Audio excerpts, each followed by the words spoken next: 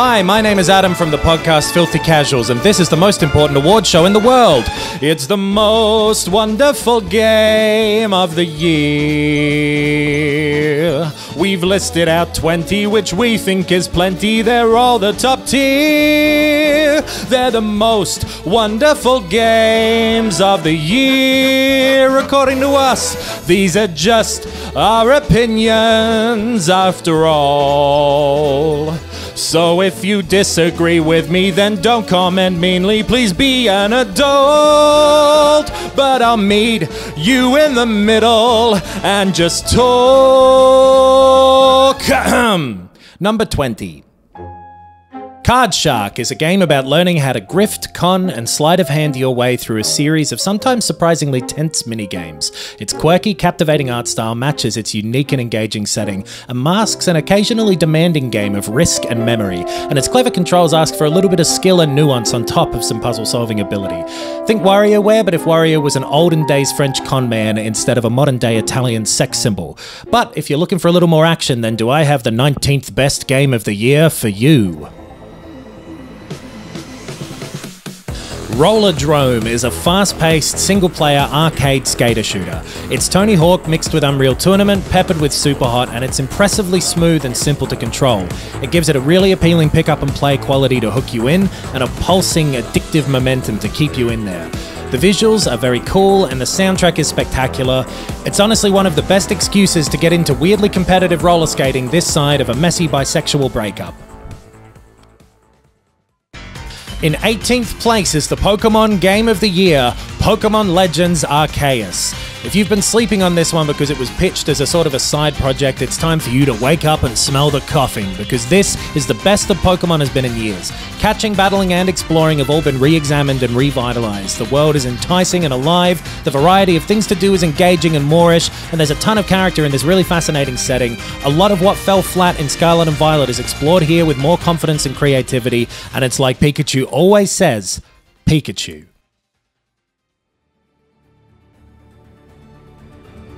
In 17th place for us is Horizon Forbidden West.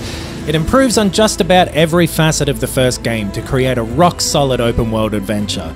The graphics are some of the best going around, the combat lets you be creative and precise, and the exploration has been built upon with things like much better climbing and more interesting bits and pieces of side content to find around the world. The story continues the first game's well written, if maybe a little dry sci fi narrative, and the mix of the old world and the new works even better this time around, with Aloy especially showing a bit more understanding of the world that she inhabits. And the acting is good enough to pretty much across the board have it all land. Uh, speaking, by the way, of boards and landing.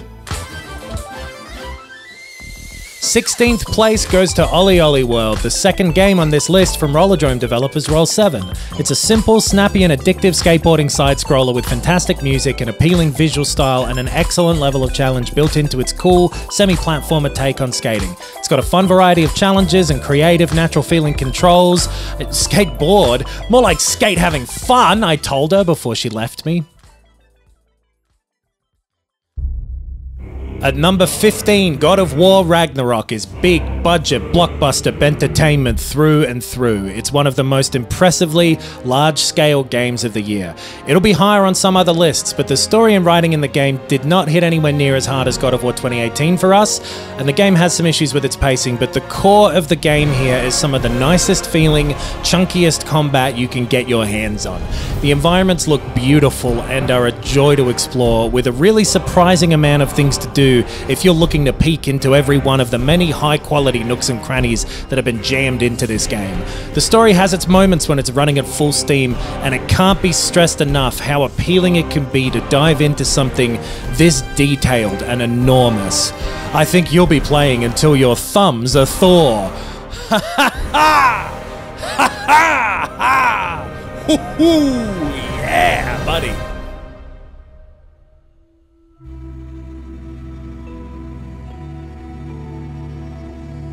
Far Changing Tides is in 14th place, and it's a beautiful and meditative journey through a wordless post apocalyptic world. You pilot your big metal tube ship through captivating environments and a limbo y, inside style vibe scroller It's a relatively short journey that you can sink into through an afternoon, and it's completely absorbing while you do. It's the perfect sort of thing to give a go on Game Pass if you've got it, and it's this type of game that has its idea, gets it in front of you, and then gets out of the way that can stick in your mind for a really long time.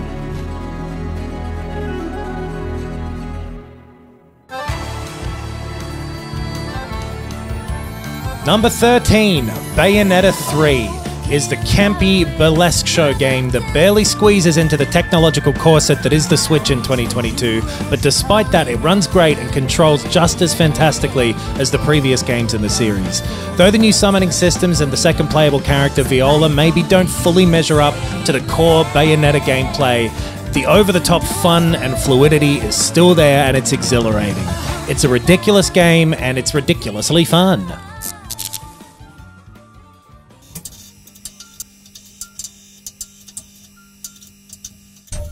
Elechead is our number 12 game and is one of the best Game Boy games that never existed. You travel through a series of clever puzzles as a cute little robot with an electrified, detachable head. The puzzles are inventive and often surprising, but always logical, and the presentation is great, and its bite sized length delivers an extensive variety of twists on its concept without becoming repetitive or tiresome. It's one of those great puzzle games where the moment you think you've got it all figured out is exactly when it knows to throw another electrified head in the works. Plus, Elechead is cute but not as cute as Mr. Cute himself, Kirby, who's in 11th place with Kirby and the Forgotten Land, a bright, colourful, warm smile of a game with heart and personality bursting from its seams. It's pretty simple and easy, but its charm and enthusiasm makes it a delight to suck down and take into your body, which is Kirby's primary ability. There's a ton to do here with nicely designed levels and a wide variety of power ups to suck up and swallow down, which is Kirby's main skill. There are fun, extra challenges in each level to gobble up like a little pig, which is what Kirby does. You can go mouthful mode on sub objects in the environment, which lets you turn effectively into a car or a light bulb or a thing of lockers. All you've got to do is suck on them until they enter you, which is what Kirby's known for for. By the way, I don't know if I mentioned, I am Kirby. Number 10, Vampire Survivors. Seems simple at first. Your only controls are to move around with the direction keys and to choose weapons and upgrades as you gain experience gems from the deluge of monsters who swarm towards you. But the more you play, the more its compelling roguelike fangs will sink into you as you uncover the huge number of unlockables that are satisfying both to earn and to use. It's cheap as chips and it's one of the most playable and addictive games of the year. I think much like a vampire, you'll be up all night! you like that, dog? Ghostwire Tokyo is number 9. It's an atmospheric journey through, of all places, Tokyo, which has become haunted by, of all things, ghosts. You set about solving their problems, mostly by partaking in the game's really satisfyingly hefty feeling first person combat. Don't be put off by its potentially dreary seeming tone either. There's a surprising amount of levity and personality in the game too, with decent writing in its many side quests and really enjoyable main story. And this realization of a haunted Tokyo in perpetual Perpetual Night is one of the best places we've visited in a game all year. Don't miss out on this one.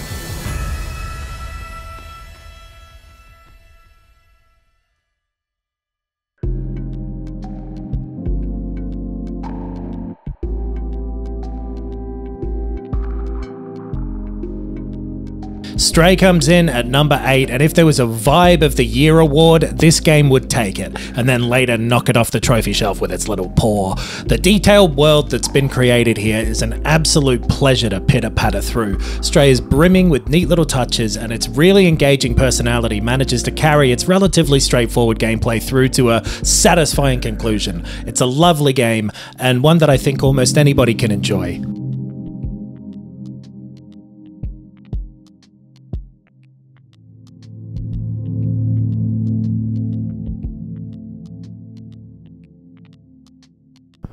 Number seven on our list is Splatoon 3, and it's some of the purest fun you can have in a game right at the moment. The Splatoon series has had its gameplay down splat right from the first game, and to be honest, not much has changed. There are new weapons and new maps, but the core is the fantastic, fast and frantic, team based paint swapping that's been there from the start. The third entry adds a new card game that's pretty good, uh, but it's the single player mode where the game has really outdone previous entries. It, in particular, is incredibly creative, and in our opinion, measures up to Nintendo's best. Speaking of Nintendo's best, Nintendo's best game this year was developed by Ubisoft. Sixth place goes to the fantastic Mario plus Rabbids Sparks of Hope. It makes smart and interesting changes to the first game's really great tactical gameplay and delivers an experience that feels very fresh. The free movement may not seem like much, but battles in this sequel feel much zippier and more freeform. The Sparks themselves are a nice addition, and there's a really great set of fun to explore areas linking these battles together with enjoyable little side quests and puzzles. The fact that I proactively tried to get into every side battle I will hopefully give you an idea of how enjoyable this game is.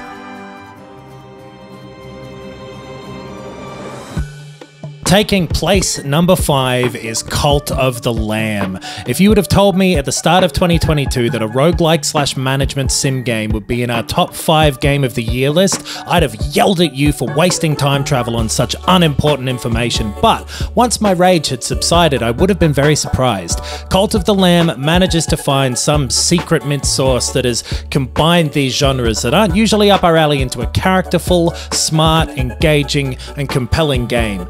The combat is enjoyable, the village management is absorbing, and the visuals and especially the music are brilliant. One note, I wouldn't recommend the Switch version unfortunately, but other than that, great game. Speaking of great games, not the best transition, the case of The Golden Idol is the fourth best game of the year, and up there with Return of the Obra Dinn in the pantheon of the best detective games ever made. The brilliantly drawn retro PC game style tableaus you are presented with over the course of the game hide incredibly gratifying logic puzzles that manage to make you feel as though you and your big brains were the sole reason anyone was ever able to make sense of this unsolvable mystery in front of you. Of course, that isn't the case, you're dumb as rocks and you're filling in keywords into cleverly obscured Mad Libs, but the game gives you just the right number of cryptic clues to pull you in to one of the most rewarding games of the year. Marvel Snap makes it to third place. It's a speedy, straightforward deck building game, but there's unexpected strategic depth hidden beneath its glossy Marvel topcoat. The games are quick and satisfying, the collection and upgrading enjoyable, and the monetization is non predatory, which is worth noting and lauding for a free mobile game. It was a little unexpected for us, but Marvel Snap is one of the most well designed and addictive games of the year. If you have a toilet, you should play this game. You know, if you ever, if you ride a bus or a train, you should play this game. If you drive a train, play this game. Trains go in a straight line. What could you be doing? You know, if you've got a family, play this game. Kids grow up over time. That's time doing that, not you. Play Marvel Snap.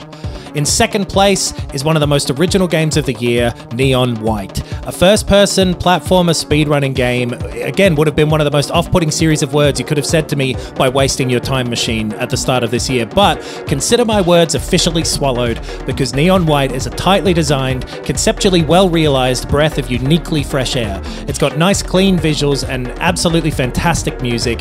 It's just nailing its gameplay the whole way through, feeling concentrated and complete the entire time. The only downside is the flat out unenjoyable story elements, which are easily skimmed over for us personally, but they are an annoyance, and it's a shame because it could have been the game of the year, but it's not.